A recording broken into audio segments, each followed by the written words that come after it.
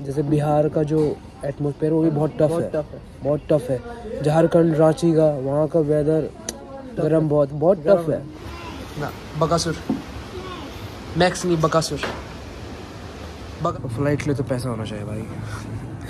चालीस चालीस हज़ार रुपये की फ़्लाइट है। मतलब हद है।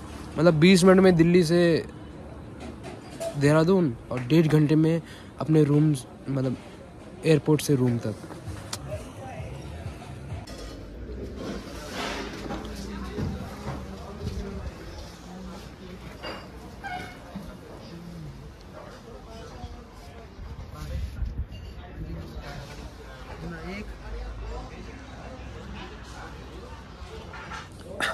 एक what's up welcome back to new vlog और अभी मैं हूँ तीन धारा पे। सो दिवाली के लिए मैं घर जा रहा हूँ। कैंप 26 से स्टार्ट है 15 तारीख तक। लास्ट कैंप ऑलरेडी दो कैंप हो चुके हैं फाइट के लिए। 18 तारीख को फाइट है दुबई में। और अगर कोई दुबई नहीं आ सकता है तो आप फाइट देख सकते हो डिज्नी हॉट स्टार पे अठारह तारीख की शाम को।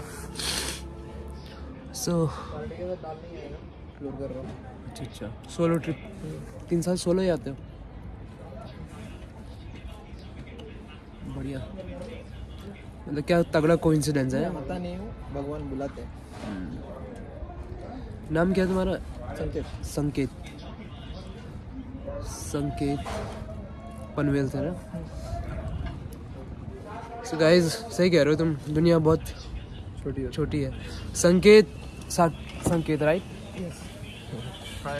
संकेत है मुंबई से और मतलब कोई इंसिडेंस है यहाँ पर बैठे थे अभी।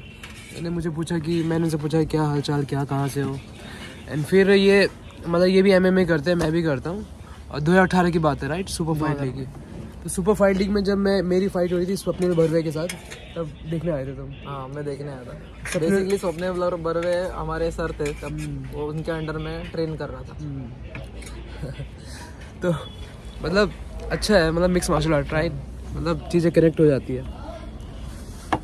तो ये सुपर फाइट लीग में देखने आए थे। दो हज़ार अठारह की बात है। यानी ये जैसे यहाँ पर बैठे थे मैंने कहा कि कौन कहाँ से हो क्या है क्या सीन है? कई बार पूछ लेना चाहें कि भाई है ना? काफ़ी सारी चीज़ें बाहर निकल आती है। अच्छा स्वप्निला भी वही है हाँ। उनके साथ? हीरो वालों के साथ? हाँ। हम्म, बढ़िया। सो so, अभी मैं हूँ तीन धारा पे और तीन धारा के बाद देव प्रयाग देव प्रयाग के बाद श्रीनगर फिर उसके बाद मेरा घर रुद्र प्रयाग ये स्पॉट मुझे बहुत अच्छा लगता है बैठने के लिए हमेशा। यहाँ बाकी मैं चाय पीता हूँ मतलब सही है। तब पहाड़ी डीएनए भी अलग ही है। आप थकते ही नहीं हो चढ़ते जाते हो चलते जाते हो। और कुछ भी खा लो। हाँ। मेरा भी वेट कट चल रहा है दबा के खा रहा हूँ। मतलब मेरे पास लड़के आते हैं बहुत सारे बोलते हैं ऐसे मतलब ऐसा नहीं है कि देखो एज अ फाइटर बनने के लिए जो मैंने सीखा है ये नहीं कि कोई पहाड़ी बंदा उसके पास एडवांटेज है ऐसा नहीं है। एडवांटेज नहीं है मेहनत मतलब, से हाँ। उसको डिस्ट्रॉय कर सकते हैं हाँ, मेहनत से एग्जैक्टली अगर कोई ऐसा ज़रूरी नहीं है मुंबई से है तो मतलब वो मेहनत करके एक वो होता है ना कि आप धीरू भाई अंबानी के लड़के हो और आप एक अनिल अंबानी है हम्म। और दूसरा मुकेश अंबानी है। अनिल अंबानी पैसा होके भी लुट गया। बट मुकेश अंबानी उसके पैसे को कंट्रोल करके उसने वो हाँ, उधर तक पहुँचा दिया। सही बात है। तो वैसा होना चाहिए। हाँ, मतलब अगर हाँ। आपके पास कुछ भगवान ने अच्छा दिया है तो उसको उधर पहुंचाओ। हम्म, सही कह उस रास्ते पे पहुंचाओ। वो मेन है। मेरे पास काफ़ी बच्चे आते हैं पहाड़ के और कई बच्चे आते हैं दो महीने करके चले जाते हैं। और कहीं रहते हैं टिकते हैं करते हैं वो अपना कार्डियो यूज़ में करते हैं कैसे लाना है ये सारी चीज़ें। अच्छा कर रहे हैं। और वो सेम थिंग मेरे पास मैं इंडिया की एक बहुत अच्छी बात बताता हूँ कि जैसे इंडिया से मेरे पूरे इंडिया से लड़के आते हैं वहाँ।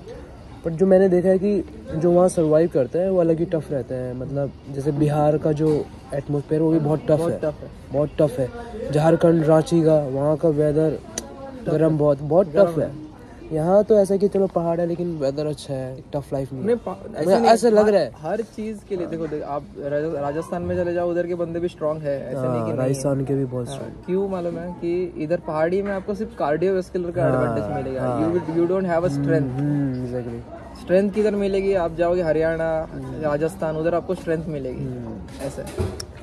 तो उधर हर हर एक जगह के अलग अलग बॉडीली एडवांटेज हर एक जगह के अलग अलग है। जैसे नेपाल के हाँ, नेपाल नेपाल के लड़के भी बहुत तगड़े होते हैं। कोई बात नहीं मुझे बताना अगर हो तो प्लान चलो ठीक है मिलते हैं। मिलते हैं। है। बाय बाय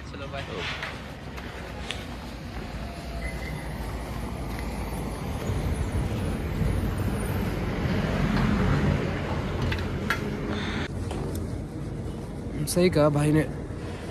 दुनिया छोटी है बहुत। हाँ बाली से यहाँ एक दिन में इंडोनेशिया से, इंडिया इंडिया से कहीं भी। और फ़्लाइट लिए तो पैसा होना चाहिए भाई। चालीस चालीस हज़ार रुपये की फ़्लाइट है। वैसे एक बात बताऊँ आपको, जैसे मैं कल दिल्ली से जब देहरादून आया, मैं 20 मिनट में आया हूँ लाइक 20 मिनट में। ठीक है? मैं अपने रूम से बीटी जब जाता हूँ, जब बस स्टैंड है, वहाँ तक जाने में बीस मिनट लग जाते हैं और दिल्ली से देहरादून बीस मिनट में। पर कॉमेडी ये हुई कि जब मैं देहरादून आया और वहाँ से रूम तक जाने में मुझे डेढ़ घंटे लग गए, बताओ। तो टैक्सी वाले ने घुमा घुमा के पता नहीं कहाँ से शेयरिंग की गाड़ी थी तो उसने पूरा आउटर पता नहीं कहाँ कहाँ लेके डेढ़ घंटे में मुझे अपने घर छोड़ा। मतलब हद है। मतलब बीस मिनट में दिल्ली से देहरादून और डेढ़ घंटे में अपने रूम मतलब एयरपोर्ट से रूम तक। सो so, अभी हम हैं देव प्रयाग में और यहाँ पर दो नदियाँ मिलती है। भागीरथी बनती है यहाँ पर। आई मीन भागीरथी और अलग नंदा मिलके यहाँ पर गंगा बनाती है।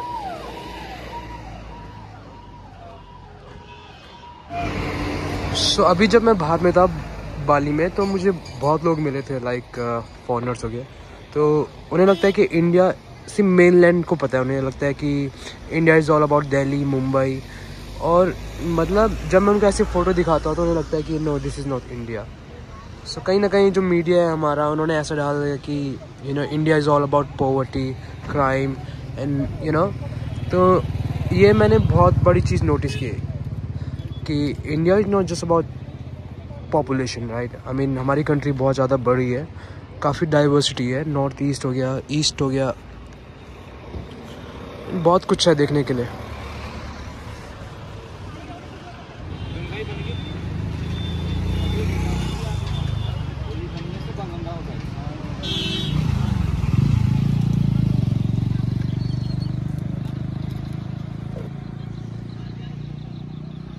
चाय और पहाड़। आई लव दिस कॉम्बो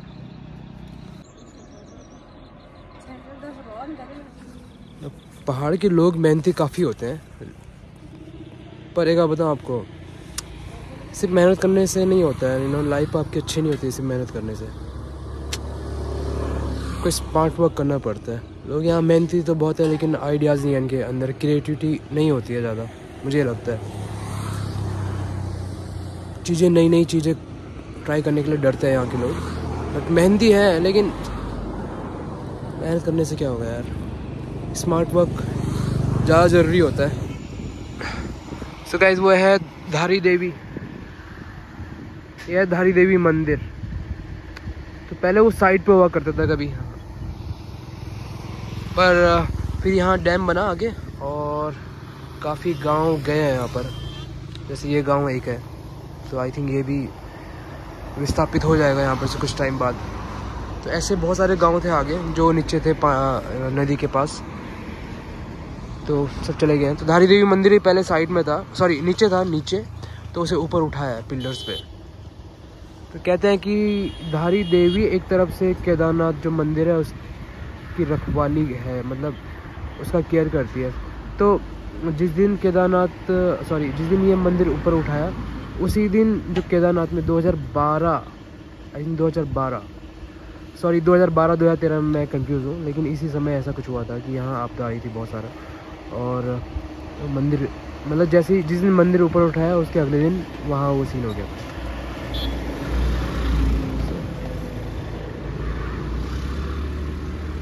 काफ़ी यादें जुड़ी है मेरी धारी देवी से हम छोटे में आते थे काफ़ी मज़ा आता था वहाँ पर। क्या? शेरू कुछ भी। शेरू हाँ।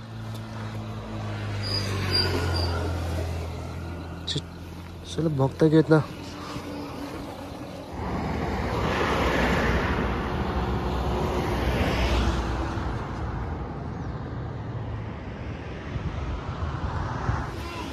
बकासुर। मैक्स नहीं, बकासुर। बकासुर, ठीक है? ठीक है? ठीक है? ना बकासुर बकासुर इसका नाम बकासुर है। मैक्स नहीं बकासुर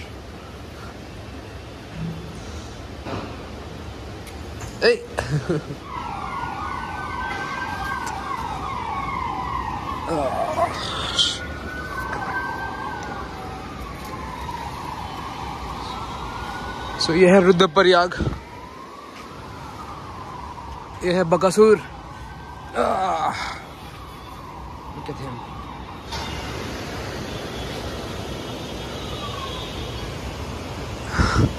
ये लग रहा है थोड़ा ब्रा... ब्राज़ील की तरह। लेकिन बस ये है कि यहाँ तक ही है, बस ये। और ब्राज़ील वाला फवेला तो पूरा ऊपर तक है। तो यहाँ पे एक नदी है, यहाँ पर मंदाकनी। अलकनंदा। अलकनंदा मंदाकनी मिलते हैं यहाँ पर। ऐसे ऐसे प्रयाग कहते हैं। मतलब जहाँ दो नदियाँ मिलती है शायद। रुद्र प्रयाग। प्रयाग आगे चल के अगस्त मुनि है तो वहाँ अगस्त ऋषि ने तपस्या की थी, ऐसा कहते हैं। फिर आगे चल के यहाँ से जो ये रोड जाती है जाती है केदारनाथ के लिए। और जो इस तरफ़ जो जाती है वह है बद्रीनाथ के लिए। और ये हमारा गदरा है, गदरा। तो जब यहाँ बारिश होती है तो मतलब ये नेक्स्ट लेवल पे रहता है ये ये गदरा मतलब ऊपर तक आया रहता है उस दिन।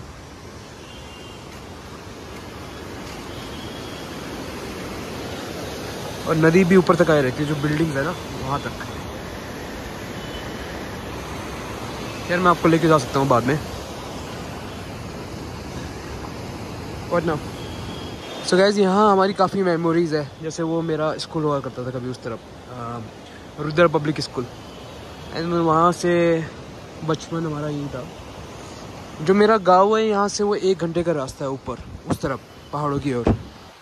तो कभी जो मेरे पूर्वज वो वहाँ रहे होंगे एंड देन हमने भी काफ़ी टाइम बचपन का वहाँ बिताया है एंड देन उसके बाद हम यहाँ शिफ्ट हो गए। एंड अब देखते हैं कि मैं कहाँ जाता हूँ इन फ्यूचर